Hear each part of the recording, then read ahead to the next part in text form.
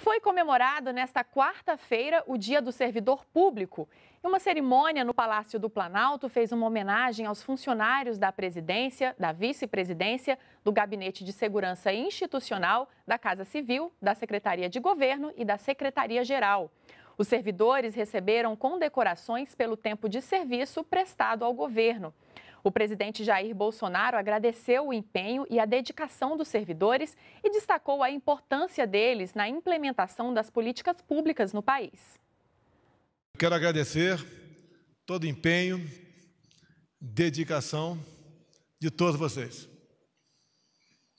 Jamais nós poderíamos sonhar com um governo de sucesso se não estivesse ao nosso lado brasileiros realmente preocupados, interessados e prontos para se dedicar cada vez mais pelas políticas de Estado.